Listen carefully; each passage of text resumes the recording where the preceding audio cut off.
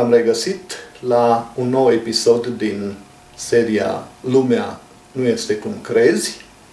Azi voi vorbi despre ceea ce numim paradoxuri și ca să știm despre ce vorbim, voi citi definiția acestui cuvânt dintr-un vechi dicționar, dicționar enciclopedic român, care îmi este foarte drag pentru că bunicul meu a cumpărat acest dicționar în anii 60 când eram încă copil. În volumul 3 al acestui dicționar găsim și cuvântul paradox, despre care ni se spune că provine din limba greacă para, însemnând uh, contra și doxa, părere, opinie, iar definiția ar fi enunț contradictoriu și totodată demonstrabil. Sau, altfel spus, o demonstrație în care totul pare să fie în regulă, dar uh, concluzia, rezultatul demonstrației este ciudat, este neașteptat, este contradictoriu, este în opoziție cu ceea ce știm, cu ceea ce ne așteptam să fie.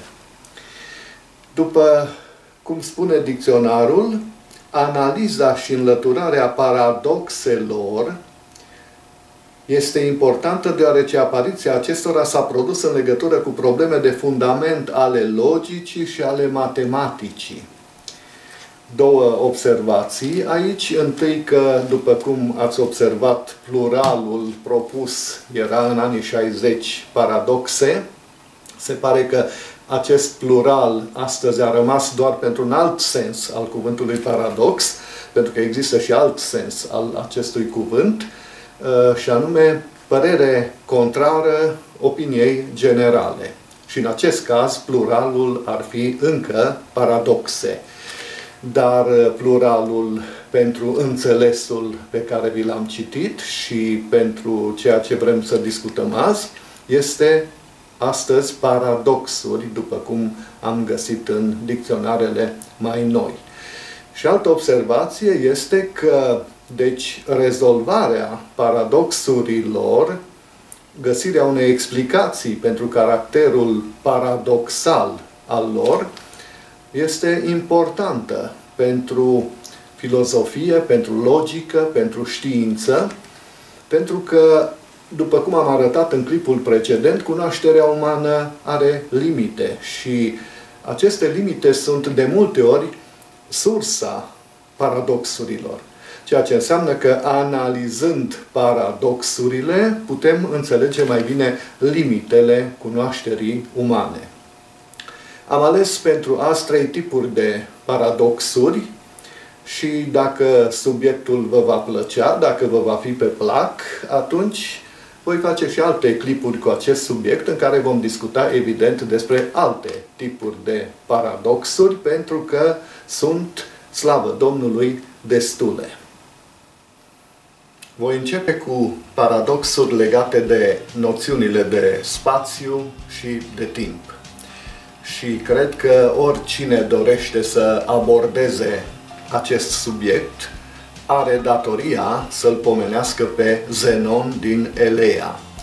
Uh, a fost un uh, filozof al Greciei antice care s-a născut cu aproape 500 de ani înainte de Hristos și pe care Aristotel l-a numit părintele dialecticii. Uh, Zenon a formulat foarte multe paradoxuri, pe vremea respectivă se numeau aporii, aporia fiind un raționament foarte dificil sau o problemă foarte dificil de rezolvat sau imposibil de rezolvat și aporiile lui Zenon i-au preocupat într-o foarte mare măsură pe gânditorii filozofii antichității.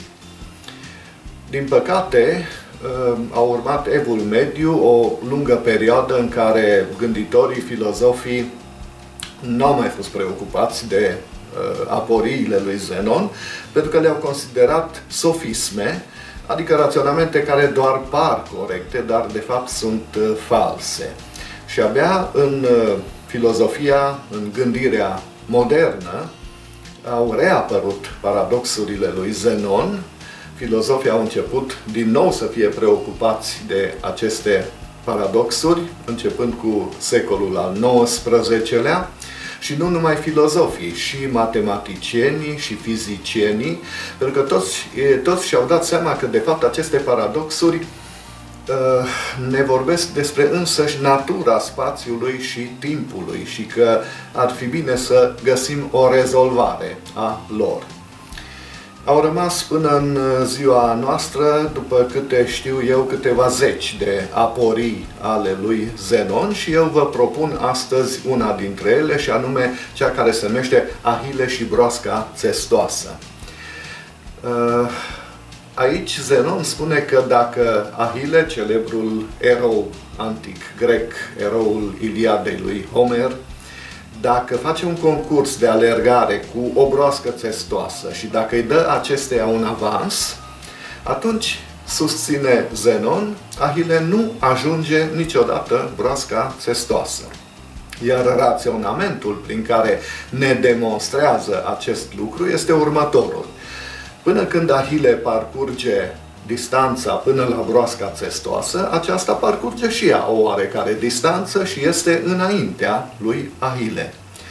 Apoi, Ahile parcurge această distanță dintre el și broască, cea care a rămas acum de parcurs, dar între timp broasca testoasă parcurge și ea o anumită distanță și tot în fața lui Ahile se găsește și așa mai departe, raționamentul poate continua la infinit, iar concluzia lui Zenon este că înseamnă că Ahile nu poate să ajungă niciodată broasca testoasă, pentru că E adevărat că distanța dintre Ahile și broasca testoasă se face tot mai mică, tot mai mică, tot mai mică, dar nu va fi niciodată zero.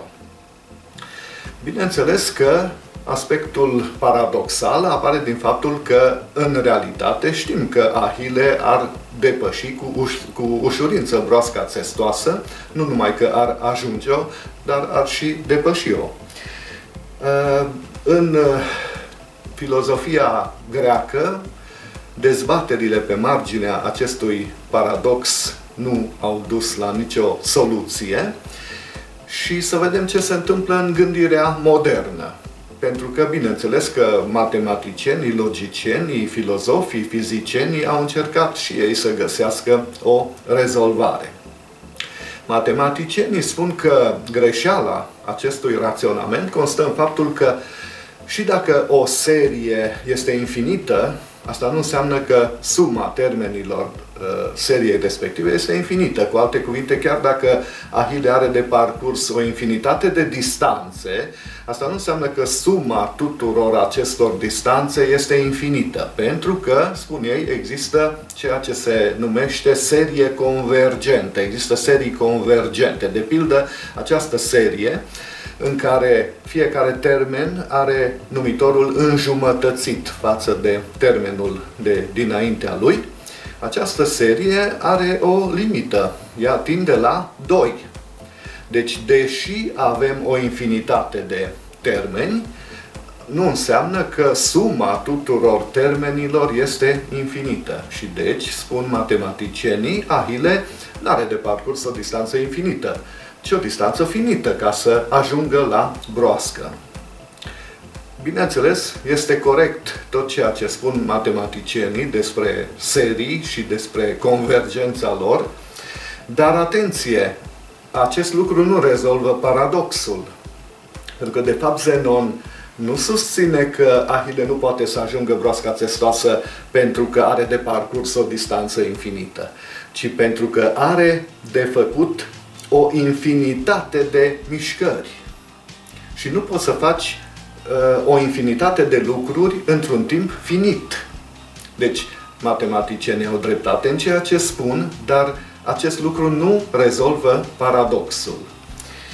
Uh, logicienii, filozofii au încercat și ei să găsească explicații pentru caracterul paradoxal al acestui paradox. Uh, de pildă, um, unii filozofi spun că mișcarea e una și parcurgerea unei anumite distanțe e alta. Uh, nu sunt același lucru.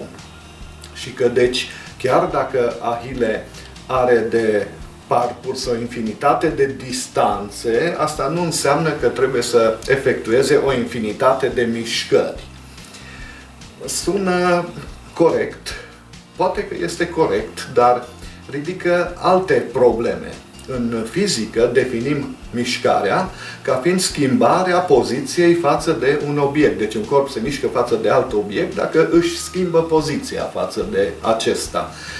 Dar cum își poate schimba poziția? Numai parcurgând o anumită distanță.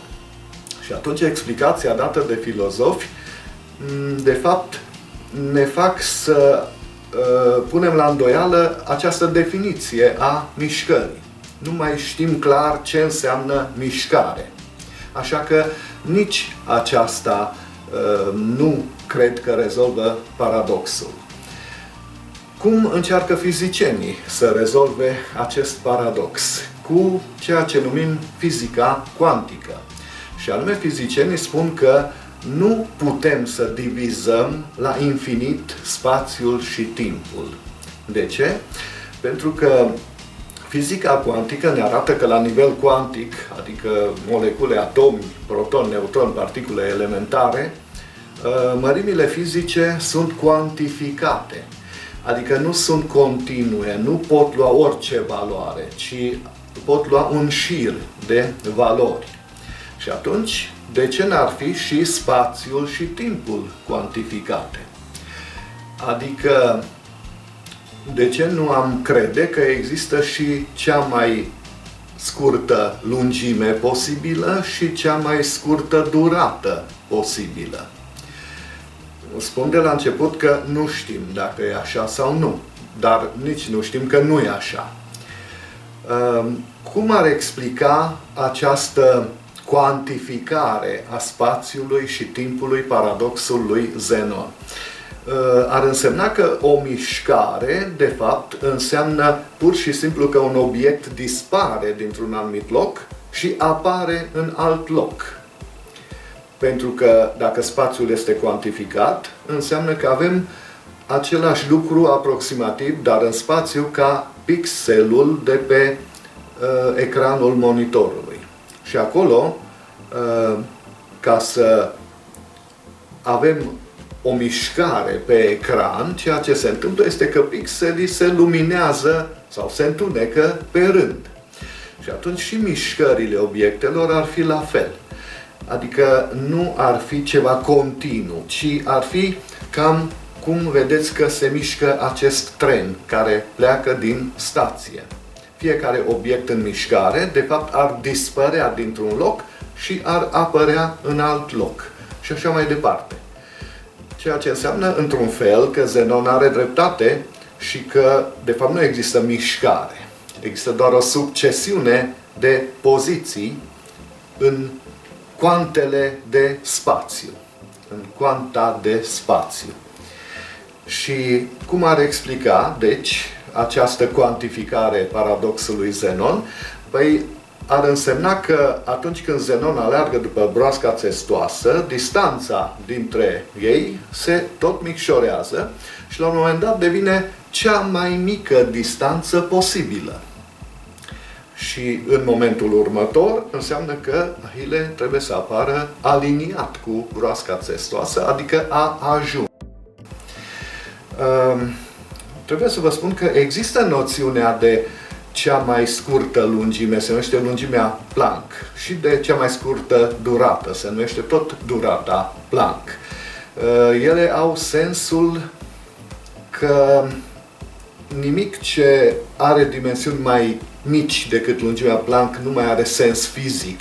Nu mai putem discuta în termeni fizici despre acel ceva și nimic ce durează mai puțin decât timpul Planck nu are sens fizic. Fizica nu se poate ocupa de durate atât de scurte. Dar nu știm dacă ele reprezintă cuante de spațiu, respectiv cuante de timp. În fine, ultima explicație e foarte scurtă și s-ar putea să vi se pară cea mai ciudată dintre toate, și anume faptul că nu există spațiu și timp în realitatea obiectivă. Că spațiul și timpul sunt doar în mintea noastră, sunt cadru pe care îl are creierul pentru a ne face să încadrăm ceea ce se întâmplă și să înțelegem ceea ce se întâmplă. Și atunci, paradoxul lui Zenon apare din cauza faptului că încercăm să explicăm ceva din realitatea obiectivă folosind niște uh, mărimi fizice, uh, concepte din realitatea subiectivă, din mintea noastră. Să trecem la a doua categorie de paradoxuri. Al doilea tip de paradoxuri despre care vreau să vă vorbesc este cel al paradoxurilor care apar atunci când vorbim despre călătoria în timp. Uh, mai exact, călătoria în trecut. Din punct de vedere logic și științific, diferența esențială dintre trecut și viitor este aceea că nu mai putem schimba trecutul, dar putem schimba viitorul. Trecutul este unul singur, este dat și va rămâne așa pentru totdeauna, în timp ce viitorul nu este unul singur. Există o grămadă de viitoruri posibile, deci putem influența viitorul, dar nu putem influența uh, trecutul. Uh, această diferență apare din cauza a ceea ce numim cauzalitate. E o noțiune pe care se bazează întreaga știință uh, și care spune că orice fenomen, proces, uh, este un efect al unor cauze. Și că ordinea cronologică este întotdeauna cauză-efect, niciodată invers. Deci cauza precede efectul. Avem întâi cauza și apoi avem efectul. Și aceasta produce diferența despre care v-am vorbit în legătură cu trecut și viitor. Oamenii întreabă de multe ori dacă putem călători în timp, dacă e posibilă călătoria în timp, uitând că de fapt asta facem uh, toată viața. Putem, de pildă, să ne construim o mașină a timpului acasă, o cutie mare de carton în care intrăm luni și din care ieșim joi. Și am călătorit în timp trei zile. Bineînțeles că și dacă nu intrăm în cutie, călătorim trei zile în timp.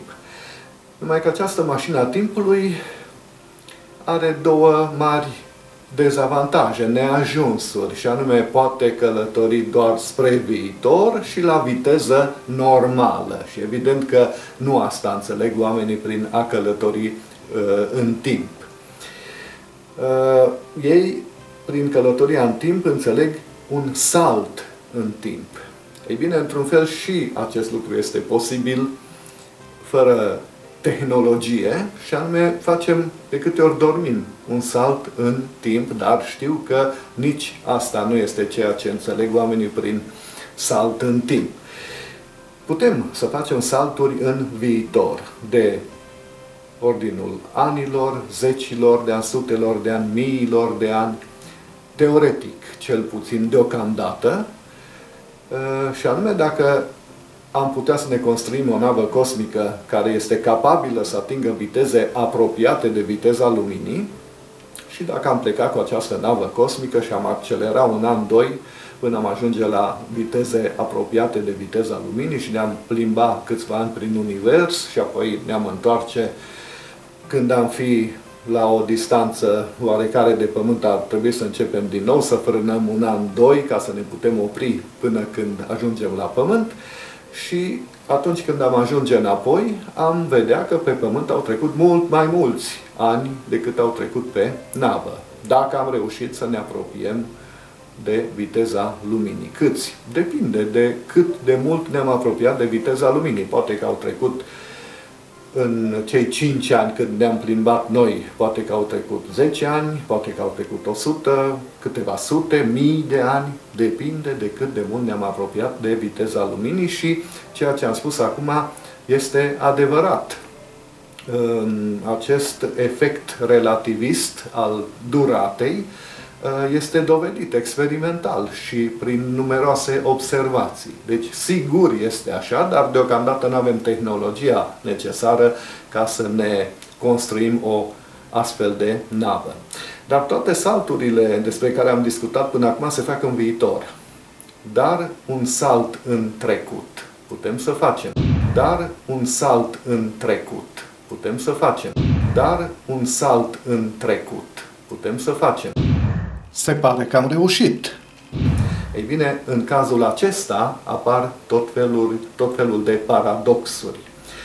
De pildă, să zicem că un uh, tânăr care tocmai împlinește 18 ani găsește în dimineața zilei în care împlinește 18 ani pe masă un ceas extraordinar de care n-a mai văzut nici el, nici altcineva din uh, lumea lui, nimeni contemporan cu el n-a mai văzut un astfel de ceas și este foarte bucuros că are un astfel de ceas, dar nu reușește să afle de la cine este niciun cunoscut de-a lui, nici o rudă de-a lui nu par să aibă vreo legătură cu apariția ceasului respectiv. Tânărul păstrează ceasul și inventează spre bătrânețe o mașină a timpului. Și atunci se gândește să trimită ceasul pe care l-a păstrat cu grijă toți anii ăștia, să-l trimită în trecut, în ziua în care el a împlinit 18 ani, să și-l trimită lui însuși în ziua în care a împlinit 18 ani, în trecut. Ați observat paradoxul? Paradoxul este cum a apărut ceasul. Pentru că tânărul are ceasul pentru că l-a primit din viitor, dar cel care l-a trimis din viitor are ceasul pentru că tânărul l-a păstrat până când a ajuns la vârsta la care a putut să trimită ceasul înapoi. Vă mai dau un exemplu. Inventatorul mașinii timpului se hotărăște să meargă în trecut și să-l omoare pe Hitler pentru ca al doilea război mondial să nu aibă loc. Așa că se duce, să zicem, în anul 1937 și reușește să-l împuște pe Hitler și al doilea război mondial nu mai are loc. De data asta ați observat paradoxul? Dacă al doilea război mondial n-a mai avut loc, de ce s-a mai dus el în trecut? Deci, vedeți, există tot felul de paradoxuri atunci când vorbim despre călătorie în trecut, tocmai pentru că încălcăm acel principiu al cauzalității despre care am vorbit la început. Mai există un tip de paradoxuri uh, legate de călătoria în trecut. Se numește unul dintre ele paradoxul bunicului sau al părinților. Gândiți-vă că cineva călătorește în trecut, pe vremea când uh, bunicul lui era copil și din greșeală, să sperăm că din greșeală, îl omoară pe bunicul lui. Atunci el cum de mai există? Cum de mai există dacă bunicul lui a murit când era uh, copil. De ce apar aceste paradoxuri? Probabil pentru că nu este posibilă călătoria în timp, în trecut, deși se pot găsi și alte explicații, dar mai complicate, puțin, um, de pildă că dacă te duci în trecut, nu poți să faci orice. Uh, nu poți să faci lucruri care vor schimba viitorul tău. Viitorul uh, raportat la momentul în care ești în timp, atunci, în trecut. Dar uh, cea mai simplă și mai clară explicație ar fi totuși că nu putem călători în trecut. Nimeni n-a reușit să găsească până acum o explicație mai bună. Și acum să trecem la ultimul tip de paradoxuri. Ultimul tip de paradoxuri despre care vreau să vorbim azi este cel al paradoxurilor care apar uh, legat de existența lui Dumnezeu. Majoritatea acestor paradoxuri sunt legate de noțiunile de omnipotență, adică Dumnezeu este atotputernic, și omnisciență, adică Dumnezeu este atotcunoscător. Pentru că aceste două noțiuni sunt foarte neclare și, într-un fel, sunt contradictorii în însăși esența lor. De pildă, uh, un paradox foarte vechi, despre care s-a discutat mult în Evul Mediu, este următorul.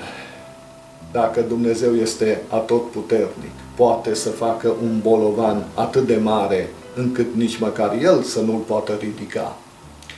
Paradoxul este evident. Dacă Dumnezeu poate să facă un asemenea bolovan, înseamnă că nu-l poate ridica și înseamnă că nu este atotputernic. Dacă Dumnezeu nu poate să facă acest bolovan, din nou înseamnă că nu este atotputernic. Deci, încă o dată, această noțiune de atotputernicie este foarte, foarte neclară. Și în legătură cu cealaltă calitate esențială a lui Dumnezeu, aceea de a ști totul, se pot formula o grămadă de paradoxuri, dar sunt mai subtile și necesită un timp mai îndelung pentru a discuta pe marginea lor, așa că nu voi vorbi despre ele astăzi.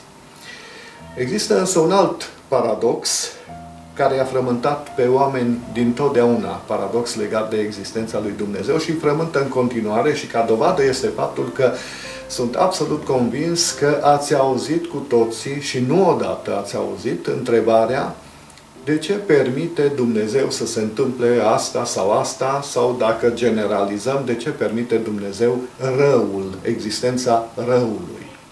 Se pare că filozoful grec Epicur ar fi formulat acest paradox sub forma unor întrebări, și anume, dacă Dumnezeu poate să facă să dispară răul din lume, dar nu vrea, înseamnă că nu este binevoitor, nu este bun. Dacă Dumnezeu vrea să facă răul să dispară, dar nu poate, înseamnă că nu este atotputernic. Și în fine, dacă Dumnezeu poate să facă răul să dispară și vrea să facă acest lucru, atunci de ce există răul în lume? Aici trebuie să fac precizarea că prin rău, aici înțeleg în acest paradox, răul natural, nu răul moral, adică nu răul care apare din cauza acțiunilor oamenilor. Pentru că răul moral, cel făcut de oameni, este foarte ușor de explicat prin faptul că Dumnezeu ne-a dat liberul arbitru. Dumnezeu ne lasă să facem ce vrem și nu se amestecă în ceea ce facem. Nu cred că i-ar plăcea nimănui ca de câte ori vrea să facă ceva ce nu-i place lui Dumnezeu, Dumnezeu să nu-l lase să facă acel lucru. Cred că ar fi groaznic. Și atunci e absurd să pretindem ca Dumnezeu să nu-l lase pe nu știu cine să facă ceva, dar să ne lase pe noi. Să facem tot ceea ce dorim. Deci paradoxul este în legătură cu răul natural. Prin rău natural înțelegem boli, catastrofe naturale, terestre, cosmice și așa mai departe. Paradoxul se referă la răul natural în sensul că pune întrebarea de ce permite Dumnezeu să existe acest rău. Există multe explicații posibile. Eu o să vă propun vreo cinci. Prima ar fi aceea că binele și răul sunt legate întotdeauna de o morală. Adică nu putem spune că ceva e bine sau e rău dacă nu ne raportăm la o morală. Și atunci, poate că morala, prin prisma căreia declarăm o calamitate naturală rea, este incorrectă. Poate că morala ar trebui schimbată. Dar aici lucrurile se complică, deoarece morala este de obicei legată de o religie și în niciuna dintre marile religii ale lumii nu este moral să ucizi. Și atunci înseamnă că n-am înțeles noi oare cuvântul lui Dumnezeu, e, e mai complicat de aici încolo. Altă posibilă explicație, probabil mai greu de acceptat de omul modern, ar fi aceea că nu există de fapt rău natural. Există doar rău moral. De pildă, calamitățile naturale sunt de fapt provocate de entități supranaturale și de fapt cred că asta este explicația oficială a paradoxului a bisericii ortodoxe și a celei catolice, și anume că răul natural există datorită căderii omului în păcat și apare prin forțele și voința îngerilor decăzuți. Adică răul natural este de fapt un rău moral, este provocat de niște ființe și nu uh, este un rău întâmplător. Dar, repet, pentru omul modern, această explicație este greu de acceptat, pentru că în timpurile noastre ni se pare nedrept să fim pedepsiți pentru ceea ce au făcut alții. Se pot găsi și alte explicații, de pildă aceea că omenirea n-ar putea progresa într-o lume fără primejdii, fără provocări, fără neprevăzut. Dacă nu s-ar întâmpla nimic rău niciodată, omenirea ar lâncezi, s-ar mulțumi cu ceea ce există, nefiind confruntată cu amenințări și ar pierde spiritul combativ, dorința de cunoaștere și așa mai departe. Asta ar presupune că Dumnezeu are un scop cu omenirea, cu specia umană. Dorește ca specia umană să progreseze, și răul natural ne ajută să facem asta, ne provoacă să facem acest lucru. Fiecare amenințare ne face să devenim mai deștepți, să progresăm tehnologic și așa mai departe. Dar oare se întâmplă acest lucru? Progresăm oare cu adevărat sau nu progresăm? Pentru că unii spun că da, alții spun că nu. Altă posibilă explicație ar fi următoarea. Uneori putem demonstra că, de fapt, ceea ce numim rău natural apare ca urmare a unor acțiuni ale oamenilor, a, ale speciei umane. De pildă, deși cunoaștem zonele de cutremur, continuăm să construim acolo când un cutremur produce victime și distrugeri, uităm că acest lucru nu s-ar fi întâmplat dacă noi n-am fi construit de la bun început în locul respectiv. Este ca și când am vedea că un copac e gata, gata să cadă și ne-am culcat sub el și după ce copacul ar cădea pe noi, am spune de ce a permis Dumnezeu să se întâmple acest lucru. Și atunci când vine vorba despre boli, uităm de multe ori că ele apar în multe cazuri datorită unor obiceiuri proaste ale noastre, a neglijenței, a eredității care la rândul ei și ea a fost alterată de modul de viață al strămoșilor noștri. Se pare că multe boli apar din cauza mediului artificial în care trăim și a accesorilor lui tehnice, care produc tot felul de factori nocivi fizici, chimici, biologici, cum ar fi chimicale în mâncare, radiații de toate felurile, bacterii tot mai rezistente la antibiotice și așa mai departe. Folosind analize mai complexe și mai subtile, poate că s-ar putea demonstra că, până la urmă, orice rău natural există doar pentru că, la nivel de specie, noi, oamenii, nu știm sau nu vrem să evităm ceea ce numim rău natural. Și acum, ultima explicație, explicația mea favorită, este legată de atotputernicia lui Dumnezeu, din nou. Și anume, dacă vă întreb, poate Dumnezeu să facă orice, atunci probabil veți spune că da, bineînțeles, din moment ce Dumnezeu este atotputernic, El poate să facă orice. Dar dacă întreb, poate Dumnezeu să facă un pătrat rotund? Vedeți, limbajul ne permite să exprimăm orice absurdități. Pătrat rotund, morți vii, negru deschis și așa mai departe. Dar aceste uh, absurdități n-au nicio legătură cu realitatea, n-au un echivalent în realitate. Realitatea nu este niciodată absurdă. Mă refer la realitatea fizică. Uh, absurdul este legat tocmai de imposibilitatea logică. De pildă, un pătrat rotund nu mai este pătrat. Și atunci, cum rămâne cu atotputernicia lui Dumnezeu? Dacă Dumnezeu nu poate face un pătrat rotund, înseamnă că nu este atotputernic. Ba da, eu zic că da și că trebuie să spunem așa. Dumnezeu poate să facă orice cu condiția să fie logic posibil. Aceasta nu este o limitare.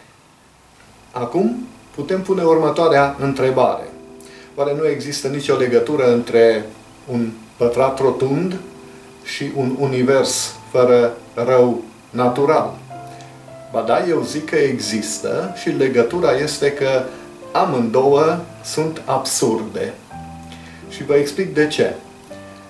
Pentru ca să apară viața în acest univers și să evolueze această viață, e nevoie de un anumit set de legi ale fizicii.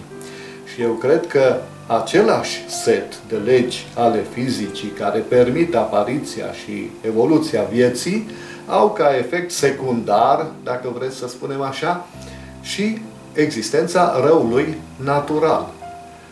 Ehm, un univers în care poate să apară și să se dezvolte viața, trebuie să fie în același timp un univers în care există ceea ce numim rău natural.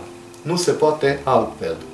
Eu cred că ideea unui univers în care poate să apară și să se dezvolte viața, dar în care nu există fenomene care să amenințe viața, este la fel de absurdă ca un cerc pătrat. Dacă ați crezut că paradoxurile sunt simple exerciții sterile de gândire și că nu putem învăța nimic de la ele, pornind de la ele, atunci lumea nu este cum credeți. La revedere!